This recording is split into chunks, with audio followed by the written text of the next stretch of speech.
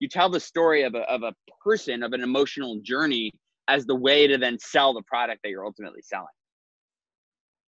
Super. So how, how have you and the team used, let's say, workflows or or or automations in your campaigns to really nurture the client relationship? Uh, Great question.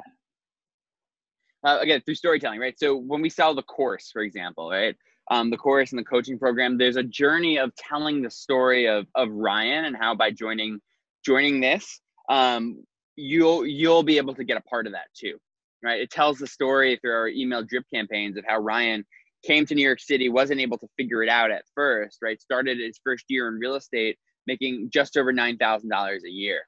From there, he was able to figure out, he figured out the process and the systems. And we talked through our email marketing campaign about that journey until finally the most realized self is think about you, you know, 80 years from now when you're 80.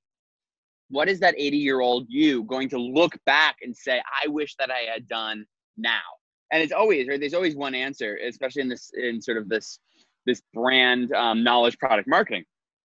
It's always i wish i had done the work now. I wish i had put in the time now. Because when you're 80 you're not going to be thinking about the hardship that you have now at, at at in your 20s 30s and 40s you're going to think about all of the great things that came from the work that you put in back then now you can change that you can use that same exact storytelling structure for any product that you're selling, right? If you want to talk, talk about about houses, it's it's um, trying it's helping the client